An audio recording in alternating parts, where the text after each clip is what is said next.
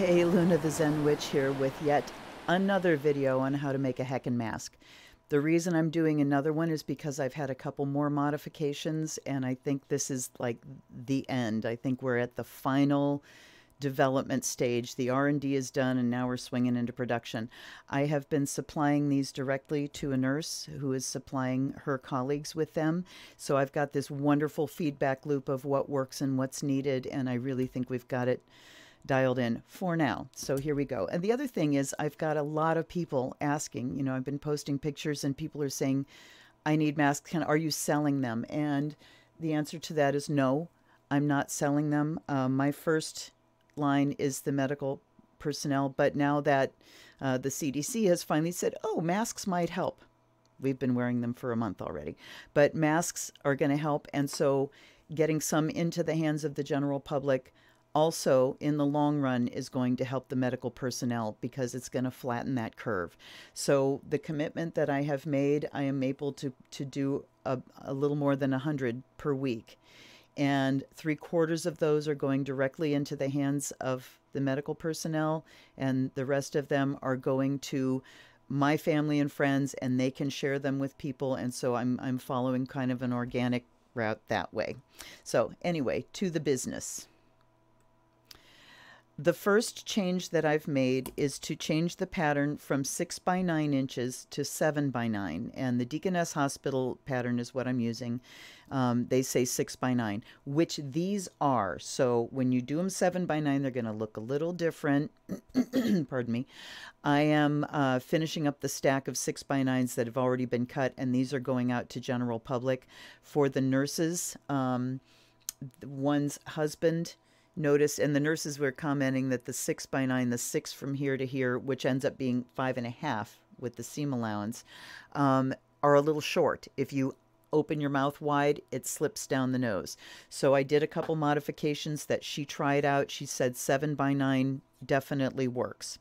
So we start with the seven by nine um, two colors of fabric, the backing and the patterned. And, you know, if you don't have contrasting fabric, that doesn't matter. And the marks here are two and a half inches in from each edge. Okay, so this will be the top. So the first step is we sew a seam from the end to this mark. Make sure you're back stitching at each end to lock that seam in. This is going to be the busiest place of the mask with a filter going in and out of this pocket, which will be formed. So you want those seams to be locked in. Um, and there you go. So after you sew those, take it over to your iron and iron that seam open and get it as open and flat as you can because that's going to give you a crisp edge at the top and neatness counts for me, even though I am a pirate. But neatness counts. So you're going to do uh, flatten that out, trying to keep the seam allowances at the pocket opening there the same size as the edges where it's sewn back to the machine. You're going to stitch a straight stitch an eighth of an inch in from both um, from the, the seam edge there. And then before I was doing two passes, now I'm only doing one. I am taking my uh, stitch length down to one and sewing one seam over. Let me get it to pop in for you if I can see here one pass over of zigzag, making sure I catch that raw edge. If I miss that raw edge somehow, I will go back over it because you want that raw edge covered um, so it doesn't fray and come apart. Now, as far as locking these in with back stitching, yes, you can do that. I'm not too worried about it because when you sew, these ends are going to be enclosed in a seam allowance that's going to be top stitched twice. So those ends are not going anywhere. So I'm not as concerned with that. Then on the right side of the fabric, and this is where um, a big modification comes in. This is grosgrain ribbon and I am cutting it in two inch lengths. I have also used twill tape that was an inch wide and that worked as well. It was a little thicker. The grosgrain is the workhorse of costuming. and it it really saves a lot of things. It adds a lot of sturdiness. Grosgrain ribbon is awesome. This is quarter inch. No, this is half inch. And um, you cut it in two inch lengths, loop it back on itself, and line up the raw edges with the raw edge of the fabric. Then you're going to lay your elastic on top of that. The elastic is seven inches, right? So lay the elastic on top of that and I am tacking it in with just a regular stitch length back and forth. If you don't tack it in, then this is going to wiggle and walk back and forth. And I tried it, um, you know, being a pirate and just holding it in place, too much of a pain. So I am tacking those in and getting all the thread off. so it's going to look like this on both sides. Um, up here, since this is already enclosed in a seam, I'm just doing it an eighth of an inch from the seam line.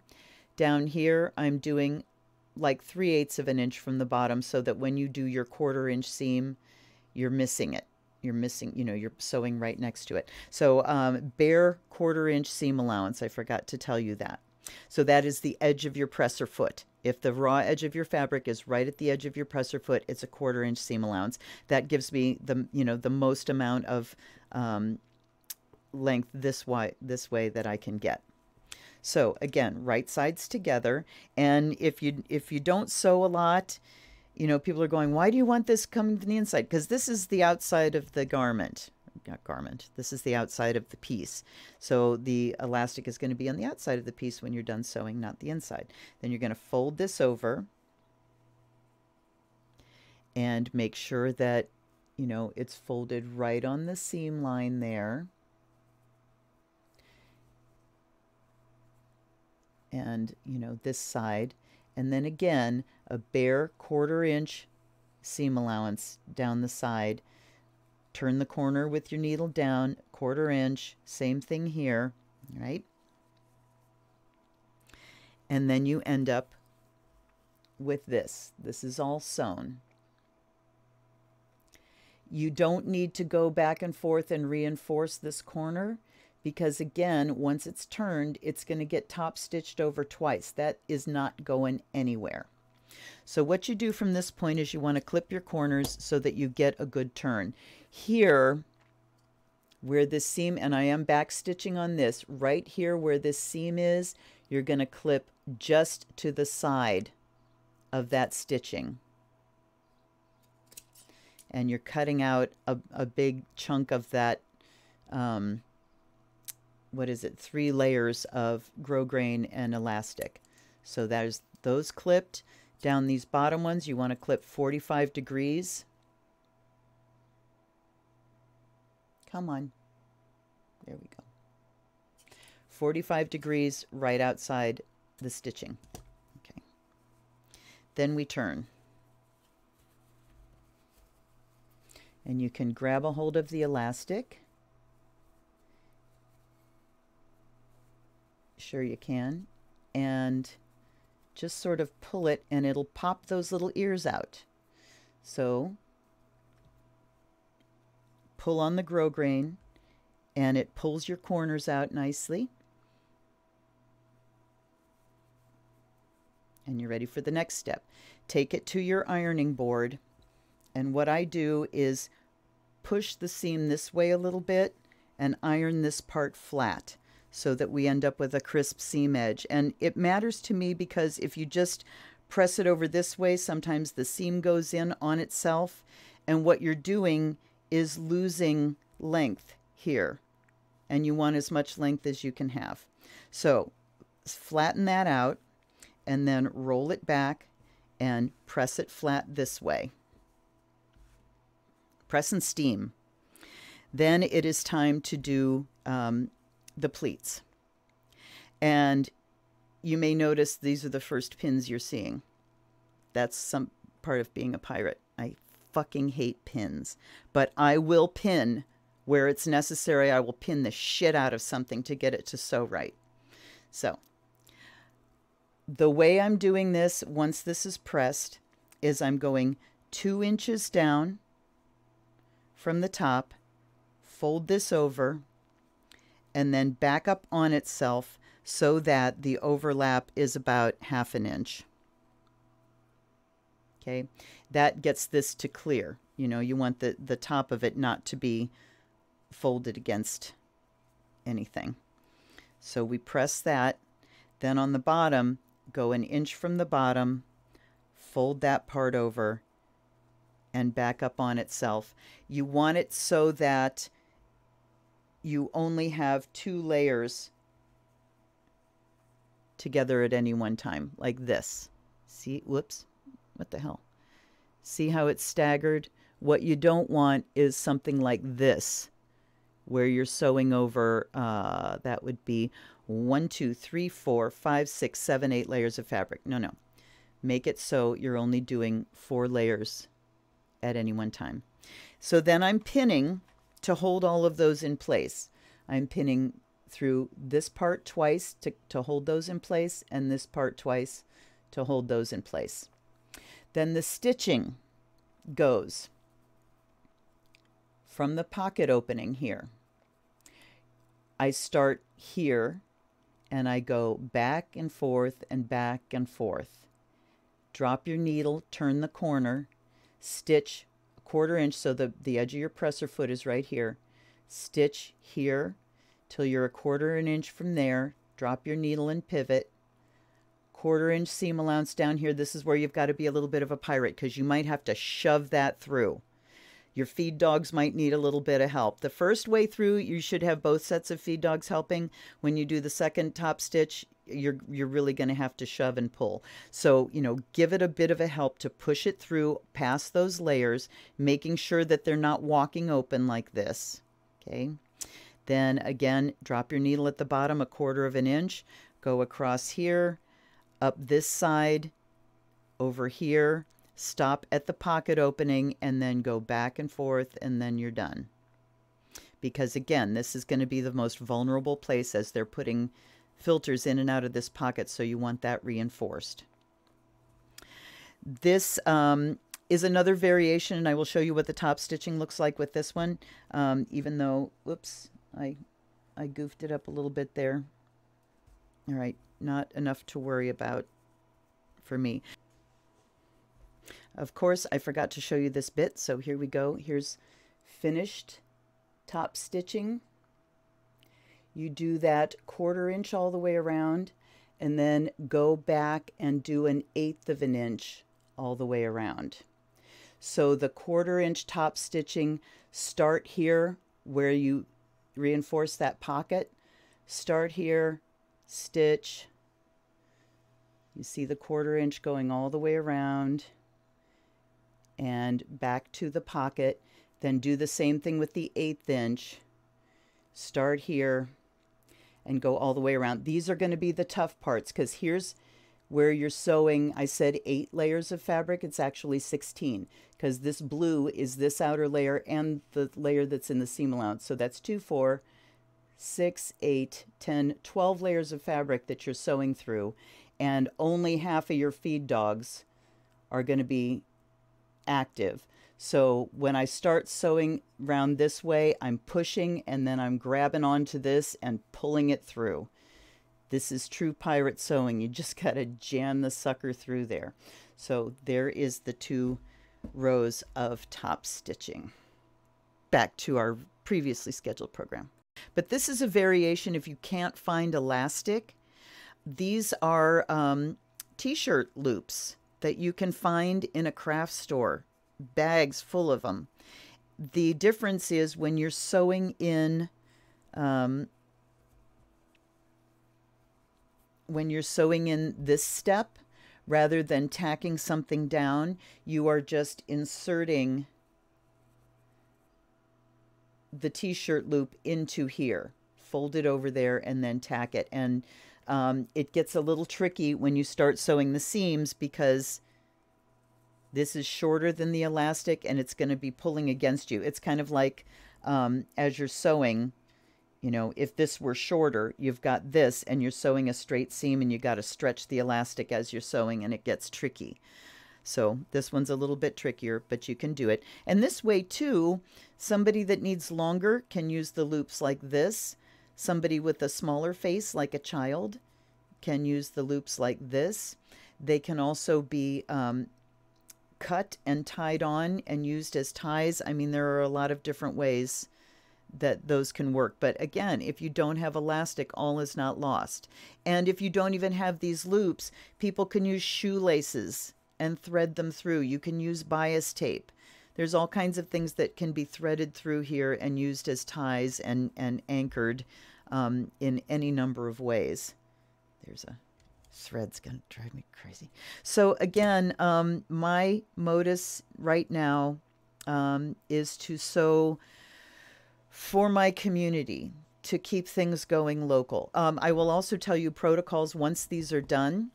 They go into the washing machine. They go with my um, wonderful homemade laundry detergent, which is made from soap and soda ash and borax. And if you look on my channel, you will see a pretty shitty video on how to make that. But, you know, it's instructions. So they go into the wash, hot water, and all fabric, when, that, when I get it, people are donating fabric. As soon as the fabric comes into the house, it goes straight into the washer. It's washed in hot water and dried in the dryer, which pre shrinks everything. So then you know once the masks are made and they're washed, they're not going to change anymore. So when the masks are made, they go into the machine, washed again on hot and and actually I'm washing them on warm cold because our warm water is super hot. and then into the dryer. They are removed from the dryer by someone with a mask and gloves on, and they go straight into a clean Ziploc bag where they can be flattened out a little bit through the plastic, and they're delivered that way. Um, I've had people offer to do the washing for me, but the protocols that I'm following, the fewer hands they pass through, the better. Uh, I also have people from all over the place asking me to make masks for them, but I'm only one person and I can only do so much. So this video is to help you sew. You can do this. These are basic, basic sewing skills, straight seams. You can do this. Um, reach out to your community on Facebook and see if people have fabric to donate. As soon as I put out the call, I got shit tons of fabric and uh, somebody that donated a, a, spool of 144 yards of elastic, and that same person has donated spools of grosgrain ribbon. So, um, you know, there there are people that can't sew that want to help and want to support you. And when you get things sewn, if you know somebody working in the medical community that can help distribute for them, make a connection. It, what feels really good to me is knowing that my work is going directly from my hands into somebody's hands that's immediately going to use them. Now, there's probably a couple day lag because when they receive them, they have to go through the washing at their end according to their facilities protocols. So, you know, there, there's still a couple days lag, but um, it feels better doing that than giving them to a big distribution center where I don't know how long it's going to take them to get to their destination and I don't know where they're going. And, um, but there's also nothing wrong with that. Getting them done is getting them done, and they're all going to go to some place that they can help. If you don't know anybody in the medical field, sew for your friends and and your neighbors. And you know, I've got people that are quietly asking me for some, and I'll say, "Here's how many I have to offer." And here's what it's going to cost in shipping, and they shoot me shipping. And if you want to shoot me a donation or a tip as well, I gratefully receive it to support my work. Um, but I'm but that's not going to stop me. You know, if if somebody is in desperate need and doesn't have anything to donate, they get masks if I have them to offer. Again, my limit is how many I can make per week, and three quarters of that goes to the medical community.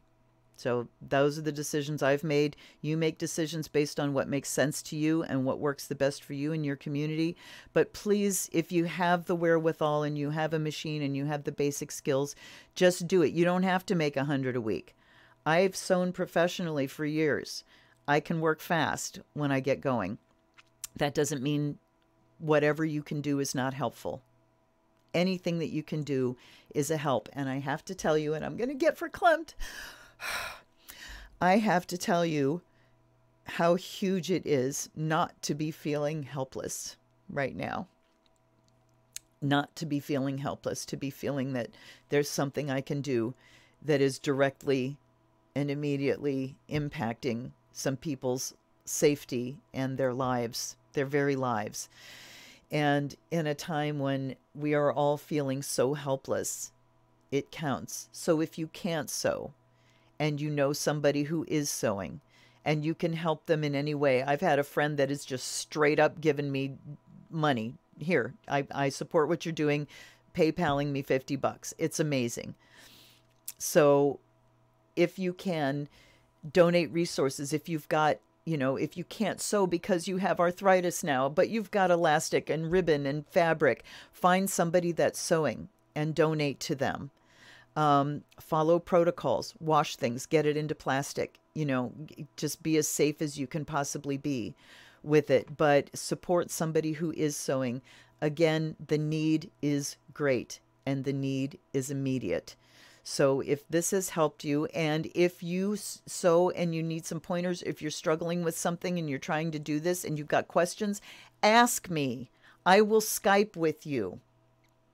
I will PM you. I will answer your questions. I will give you all the help I can possibly give you to support what you're doing because me doing this makes my work grow exponentially me offering the help to you makes it bigger than me doing one mask at a time. So I, I'm here to help everybody. And I hope that you're staying safe and following, you know, whether your state has uh, given a stay at home order or not, stay the fuck at home. My sister in law said that every park they're driving past lately um, is packed because people are like, oh, we can still go to the parks. And they're going to the parks in droves. Can you please just not? Please keep yourself safe and don't endanger anybody else. And, you know, that's my plea. And I also have to tell you, being the witch that I am, um, I am doing knot magic while I'm sewing. I am meditating. I've got my happy music on and meditations on, and, uh, you know, I'm listening to a lot of different things. But as I'm sewing, I am nodding in protection and help and blessings for everybody that's out there. And it's all, it's us. We're all out there, y'all. We're all in this. So, um, again, I give you my blessings for protection, for um, ways to help so that you don't feel helpless and so that you can feel um, that you're part of of the community of help that's going out. Anyway, I love you guys. Please ask me if you have questions. I'm it, it would be great to connect and, you know, to, to help you help others. How many times can I say the word help? I don't know. Help. Love ya. Blessed be. This is the Zen Witch.